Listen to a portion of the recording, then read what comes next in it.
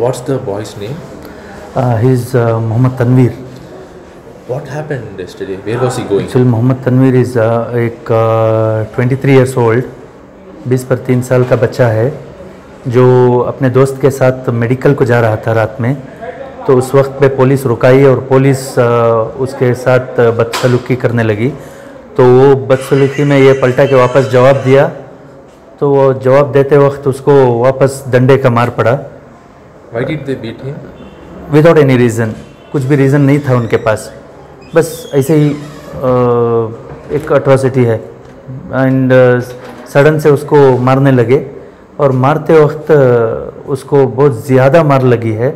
और डॉक्टर का कहना है कि उस रिकवरी डायलिसिस अभी भी चल रहा है। Is on the bed in ICU you can see him इतना ख़तरनाक मारा है कि दोनों किडनियाँ डैमेज हुई हैं उसकी। और हम लोग कल भी यहाँ पे पब्लिक बेंगलुरु के चारों तरफ़ से रात में साढ़े दस, ग्यारह बजे को रात में कम से कम 800 से हज़ार लोग पब्लिक यहाँ पे आई थी हॉस्पिटल के सामने। हम लोगों उनको शांत करके वापस भेजे हैं। अगर कमिश्नर ऑफ़िस से कोई स्टेप नहीं लिया, डीजे हल्ली पुलिस स्टेशन में कोई एक्शन नहीं लिए तो हम लोग धरना बैठेंगे कमिश्नर ऑफ़िस के सामने। और हम लोगों की मांग यही है कि इस बच्चे को इंसाफ चाहिए।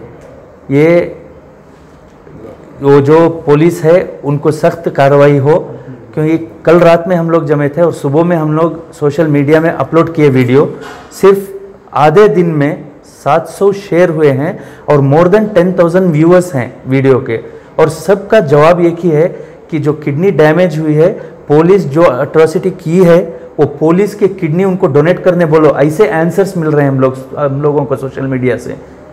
सोशल मीडिया में इतना रेस्पॉन्स मिल रहा है हम लोगों को कि कह रहे हैं कि पुलिस को सस्पेंड करो और पूरा मेडिकल पूरा अलाउेंस दिलाओ और पुलिस के जितने भी लोग टॉर्चर दिए हैं, उनकी उनकी किडनी लेके उनको डोनेट करो। ऐसा ऐसा जवाब मिल रहा है हम लोगों को। तो पब्लिक का भी सपोर्ट है बच्चे को। हम लोग चाहते हैं कि जल्दी से जल्दी इसके ऊपर कार्रवाई हो और हम लोग चाहते हैं कि आप सब तमाम हज़ार दुआ भी करें क्योंकि 20 पर तीन साल का बच्चा है और आता महीना उसकी शादी भी थी। अफसोस की बात है कि वो अभी सीरियस हालत पे आईसीयू में ज़ेर इलाज है। आप तमाम से गुजारिश है कि दुआ करें बच्चे के लिए।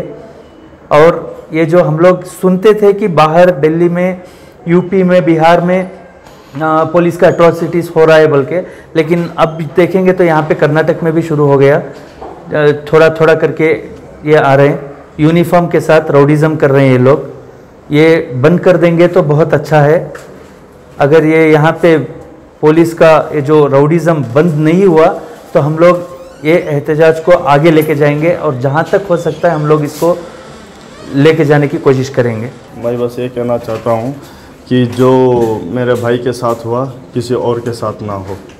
क्योंकि आज मेरा भाई है, कल किसी और का भाई होगा। आज वो बेड पे पड़ा है, कल किसी और का होगा। क्या ये लोग जो मारे हैं, वो खुद अपने बच्चे अपना बेटा या भाई को ऐसे बेड पे देख सकेंगे? ये मेरा सवाल है। या वो देख सकेंगे, ये देख सकते हैं। तो ये जारी रखो। अपने बच्चों को भी मारो, अपने भाइयों को भी मारो। जस्टिस चाहिए।